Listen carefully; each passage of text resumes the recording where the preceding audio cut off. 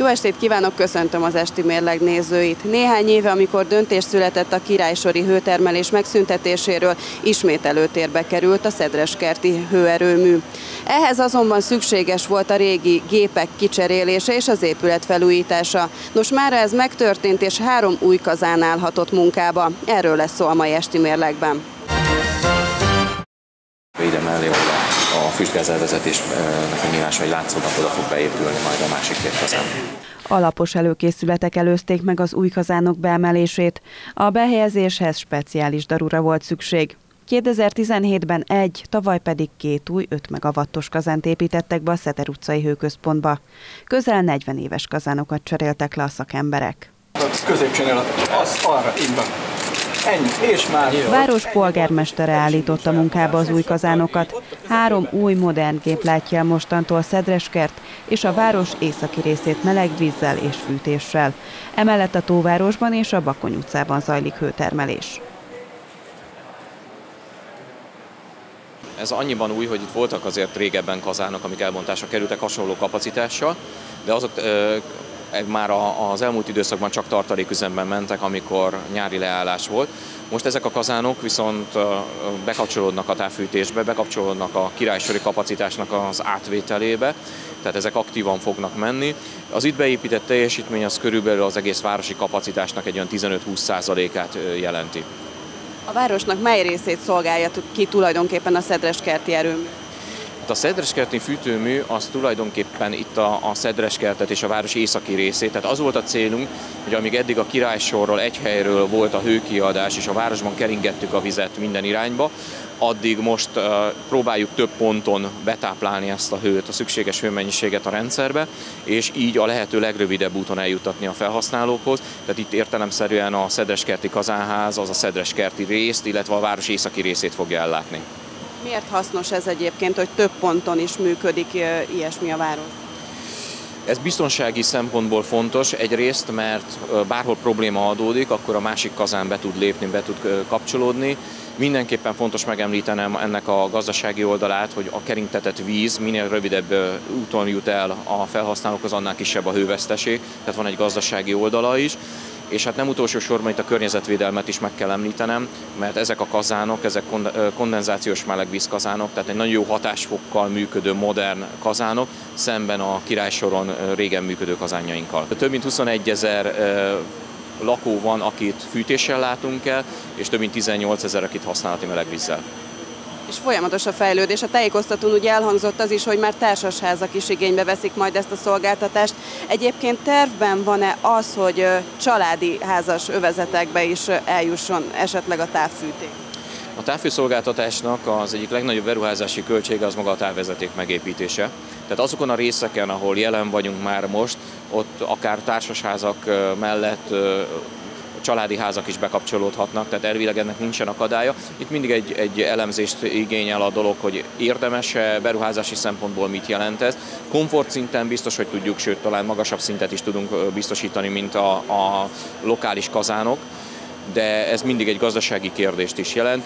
Az, hogy a jövőben merre fogunk tudni tovább lépni, az megint egy, egy kérdés. Mi szeretnénk mindenképpen tovább menni, mindenképpen szélesíteni, és minden, minél nagyobb a felhasználói körre rendelkezni, mert hiszünk abban, hogy ez gazdaságos, ez jó fűtési mód, magas komfortfokozattal rendelkezik és környezetbarát.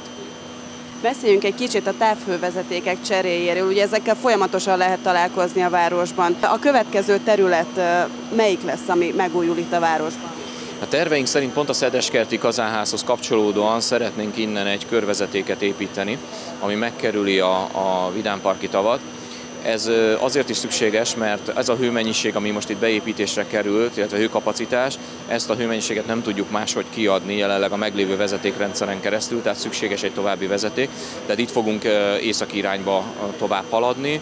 Ez lesz most, a, amit valószínűleg, amint nem fagy a föld, és lehet munkát végezni, azonnal el fogunk indítani, mert ez nem érint szolgáltatást. 70 tonna széndiokszid kibocsátás csökkentés lehet ezzel a fejlesztéssel elérni. Egy nagyon fontos környezetvédelmi cél mellett egy nagyon fontos üzemeltetési cél valósult meg. Az új technológia pedig biztonságot is jelent. Ezt már a város polgármestere mondta. Egy nagyon fontos környezetvédelmi beruházásról is szó van itt másos, másodszorban pedig egy nagyon-nagyon fontos városüzemeltetési fejlesztésről, beruházásról is, hiszen a város egyik legfontosabb közszolgáltatása, alapszolgáltatása az a távhőszolgáltatás, akár a vezetékes melegvíz, akár pedig a téli időszakban a fűtés vonatkozásában. Jóval több mint 20 ezer háztartásról beszélünk, amelyik kötődik a távfőhöz. Nem mindegy tehát, hogy ezt milyen színvonalon, milyen minőségben, milyen biztonságos és keretek között, és milyen áron tudjuk elvégezni. Én magam utólag is nagyon jó döntéstek tartom azt, hogy a város mindent megtett annak érdekében, hogy a fűtőerőmű visszakerüljön a közösség tulajdonába.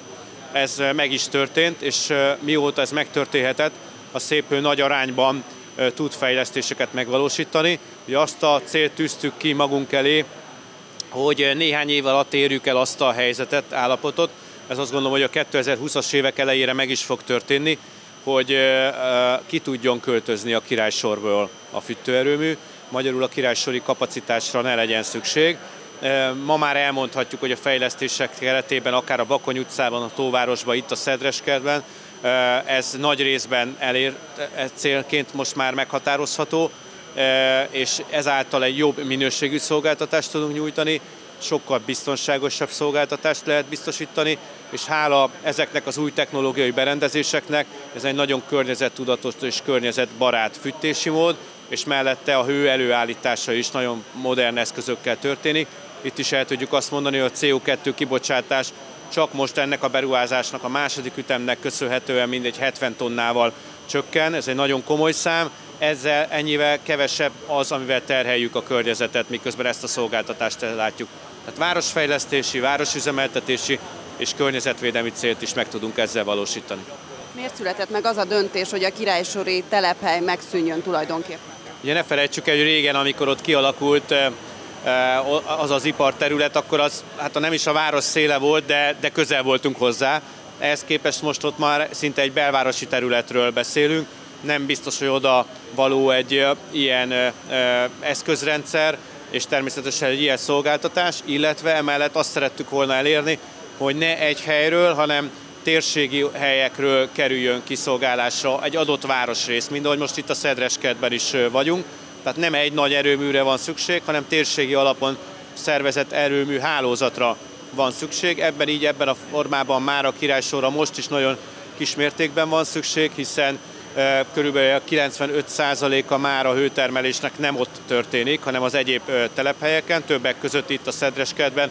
Most átadott második ütemnek köszönhetően itt is most már 15-20% a, a, a hőtermelésnek itt kerül előállításra, tehát ez alapvetően ezt a célt szolgálja.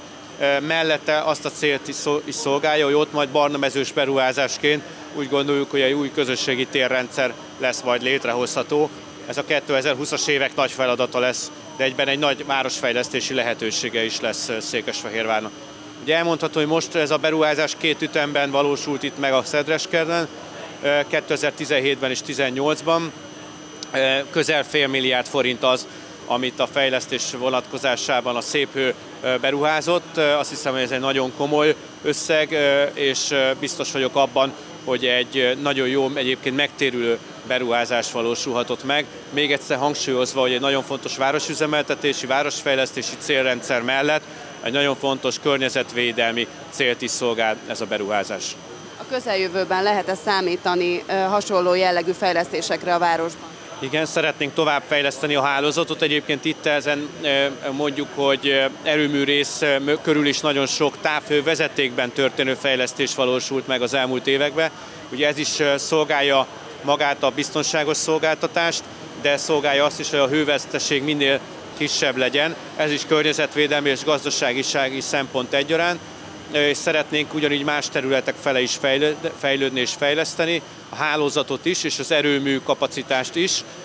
Ez a következő ütemben a kórház irányába tud reményeink szerint megtörténni. Bízunk benne, hogy ott a szépő egy állami közbeszerzési eljáráson el fog tudni indulni, és bízunk benne, hogy ott eredményesen fog tudni szerepelni. Ez azt a lehetőséget adná meg, hogy tovább tudnánk bővíteni a hálózatot a kórház irányába, és a kórház is egy biztonságos ellátó rendszerrel rendelkezne. Egyébként nem csak a közületek számára versenyképes ma már a távhő, ezt jól jelzi, hogy vannak olyan kifejezetten nagy tömszerű társasházépítések, amik zajlanak ma Székesfehérváron, ahol szintén a távhő szolgáltatás került kialakításra, és először a beruházók is óckodtak ettől, de aztán a szép hő képes volt számukra egy olyan ajánlatot megfogalmazni, ami kifejezetten versenyképes ajánlat egyéb fűtési módokkal kapcsolatban, összvárosi szempontból pedig elmondható, hogy ezáltal egy nagyon fontos környezetvédelmi fejlesztés is minden olyan társasház, amelyeket a távhőszolgáltatásba tudunk bekötni, hiszen nem szakszerűen megfogalmazva, de értetően nem ott pöffékelnek a kémények, hanem arra kijelölt helyeken, ahol a technológia mindent tud, amit a 21. században tudnia kell. Kedves nézőnk, ez volt már az esti mérlegén. Köszönöm megtisztelő figyelmünket, hogyha tehetik, tartsanak velünk továbbra is. Viszontlátásra!